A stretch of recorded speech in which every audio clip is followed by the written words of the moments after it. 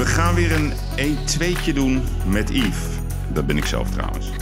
Lieve luisteraars, beste kapitaals. De dag na Sinterklaas is het tijd voor een nieuwe uitblinker. Vandaag Gijs Rademaker. Opiniepeiler. De man die vaak de stem van het volk op de media verkondigt. Aan de hand van de resultaten van het onderzoek van Eén Vandaag.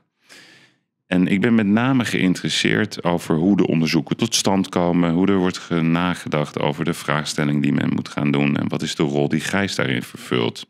Heeft hij ook een mening over de NPO? Heeft hij ook een mening over politieke partijen? Heeft hij ook een mening over de toekomst van Nederland? En heeft hij een mening over dinosaurussen? Want het schijnt dat Gijs een grote voorliefde heeft voor dinosaurussen. Samen met het geweten van Nederland, Maarten van Rossum. Want met hem maakt hij de podcast De Dinocast. Nou, ik zou zeggen, lieve luisteraars, ga er rustig voor zitten. Hij zit hier tegenover mij, Gijs Rademakers. Of Rademaker. Ik heb heel veel vragen aan hem. En uh, ik zou zeggen, we gaan beginnen. De persoon Gijs Rademakers. Hè? Dus je, je, jou, voor wie het niet weet, je hebt geschiedenis gestudeerd Ja. en journalistiek. Dus op zich een uh, boeiende combinatie. Ja. Dat, dat is ook misschien de nieuwsgierigheid, denk ik. Beide onderwerpen hebben te maken met, uh, met, uh, met nieuwsgierigheid. Mhm. Je hebt dat gedaan in Groningen. Je hebt drie kinderen. Uh, je hebt ook burn-out gehad. Ja. Heb je die nog steeds? Of? Nee, die heb ik, die heb ik gelukkig niet meer. Nee, Nee? nee. het was een, uit mijn hoofd hoor, een jaar of vijf, zes geleden. En die heeft wel heel lang geduurd. Maar was het echt, echt uh, fysiek ook dat je gewoon helemaal naar de kloten was? Ik was fysiek totaal naar de kloten. En het gebeurde ook van, van de ene op de andere seconde. Ja, Ehm, dat is een echte burn-out. Dat, ik bedoel, ik, uh, ik, ik liep op de hei met mijn gezin. Ja. Kleine kinderen nog. En ik weet nog dat uh, ik een... Uh, we waren een stok aan het overgooien. Heel stom verhaal. Maar ik weet nog dat ik die stok wilde vangen. Ik liep achteruit en ik struikelde gewoon over een boomwortel. Dat was geen harde val. Er was niks aan de hand. Ik stond op.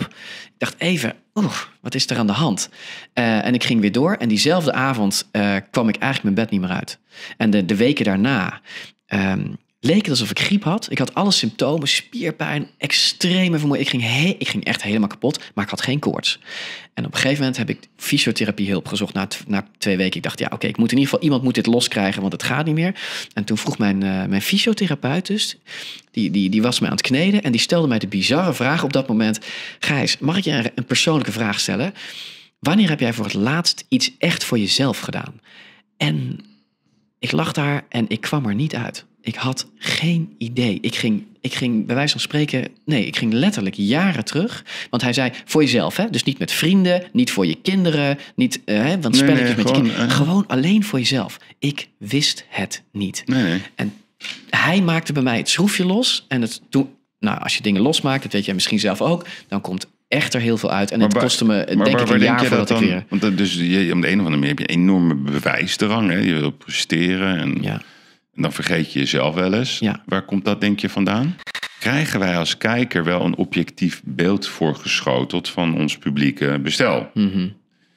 Uh, wat ik graag zou willen. Want ik wil gewoon naar iets Krijgen luisteren. als, nog een keer, krijgen wij als kijker wel een objectief beeld voorgeschoteld van ons publieke bestel? Ja, dus daarmee bedoel ik, ik ga het even vertalen. Ehm, we zitten nu echt eh, natuurlijk in een fase dat er heel veel dingen spelen in de maatschappij. Meer dan ooit, wat ik me kan herinneren. Tegenstellingen, corona, racisme, Ja, dat soort dingen. Polarisatie, eh, klimaatcrisis en eh, weet je, we rollen van de ene in de andere crisis. En wat je eigenlijk wil, ik in ieder geval als, als kijker, ik wil feiten, ik wil mooie debatten, ik wil zelf mijn conclusies trekken. Ja. Ik wil het niet opgedrongen krijgen en ik, wil, ik, hou, Natuurlijk helemaal, niet. ik hou ook niet van framing. Dus ja, ik maak me daar zorgen om. Maar de vraag is of jij je er ook zorgen om maakt. Nou, ik kan me of dat voorstellen- wel objectief al mooi is. Nou, ik heb, weet je, ik heb, ehm, ik heb dit artikel eh, nog niet gelezen. Ehm, maar als ik afga op wat jij zegt, dan kan ik me alleszins voorstellen dat jij daar zorgen over, eh, dat jij je daar zorgen over maakt. Hmm. Ehm, het, ik kan alleen spreken over het kleine deeltje NPO waar ik ervaring mee heb. Ja. En dat zeg ik nadrukkelijk zo. Want Het is één vandaag. Eén Vandaag en Avrotros. Ja. Hè, Ik werk bij Avrotros. Ja, ik werk niet bij de NPO. Ehm, ehm, dus dus eh, ik ben ook geen eh, hoofdredacteur of omroepbaas. Ik, ik, eh, ik ben niet betrokken bij die processen. Mhm. Ehm, het klinkt niet goed, Nee. moet ik erbij bij zeggen. En, en, en ik voel een beetje dat je... dat je, dat, een, dat, dat, dat je ook mede daarom vragen hebt over de manier waarop wij. eh, je zei net hè, dat er een frame op ergens op zit. Laat me je. eh, nou, eh, iets anders. Je collega De Vlieger die twitterde volgens mij afgelopen week een, een tweet die mij opviel. Namelijk een klein tweetje hoor, over iets anders, maar het, het, het raakt hetzelfde. Hij zei: De journalisten van de kranten schrijven wat de overheid wil, komma. En toen kwam er iets anders over. Ja, dat is wel heel generiek.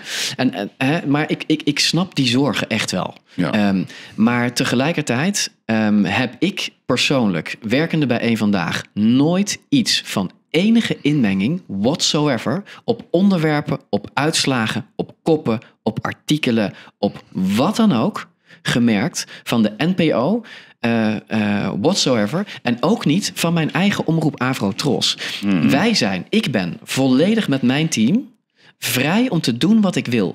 Maar mijn punt is eigenlijk nog ehm, dat op dit moment peilen we dat nog steeds. Hè, die zorgen over corona en het vertrouwen in de aanpak. En nu zien we, de laatste maanden zien we, dat die zorgen stijgen. Maar niet zoals eerder aan het begin van de crisis, dat, die, dat ook het vertrouwen in de aanpak steeg. Nee, we zien nu dat het diametraal tegenover gaat. De, de zorgen eh, over die, of het vertrouwen in die aanpak, dat, dat is nu op een, bijna op een dieptepunt aller tijden Ja, beland. Dus, dus hoe hoog is het percentage op dit moment in de, a- in de aanpak van de overheid ten aanzien van de coronacrisis? Ehm, ehm, Vertrouwen dan. Even uit mijn hoofd, zo'n 30% heeft daar nu vertrouwen in. Ja. 30%. Ja. Dat was aan het begin van de coronacrisis was dat in de 70. Wat ik er nog aan toe wil voegen is, je moet problemen, ehm, je moet veranderingen lang niet altijd doorvoeren vanuit problemen. Je moet veranderingen doorvoeren vanuit enthousiasme. En ik denk dat dat een belangrijk onderdeel Mooi. van zo'n brainstorm Ik sessie zou moet bijna zijn. willen sluiten met de podcast, want dat is echt, dat is op mijn lijf geschreven. Een crisis, weet je, in deze podcaststudio zat ooit Jan de Bouvry. Ja. Hij, hij lijkt niet op jou, maar Nee. nou ja, een beetje wel, gek genoeg. Want? Ik weet niet, je, je lijken een heel klein beetje op elkaar. Maar hij zei, en Jan heeft al, echt al- alles meegemaakt in zijn leven. En hij zei altijd, crisis is verandering. Mhm. Dat is het ook. Want dan moet je alle geloven eh, daarin gaan betrekken. Dus, En zodra je hierover praat, beland je in groeven in onze samenleving die inmiddels zijn ontstaan, waar je bijna we- niet meer uitkomt. Nee, maar we, exact, Ja. exact. Dus, Ja. dat, dus dat heeft, eigenlijk zijn het kansloze discussies. Nou, het vervelende is dat het daardoor eigenlijk niet meer over de inhoud kan gaan. exact. En, en, en, en daar zitten we met z'n allen een beetje in vast. Heel Komt goed, ook Gijs. een beetje, even een spiegel misschien. ehm, eh, polariseren. ehm, kijk, je kan je zorgen maken over dingen en je kan polariseren. ja, En polariseren is natuurlijk ook een beetje een verdienmodel. zeker. Eng om te horen. Ja, toch? Ja, is het. Ja. Wilt u de hele podcast beluisteren? Ga dan naar dekapiteindelijn.nl en word kapitein. En dan zeggen we tegen u molto bon dia capitao. Ik dank u voor het luisteren en hopelijk wordt u ook lid van onze beweging De Kapiteinenlijn. Tot snel.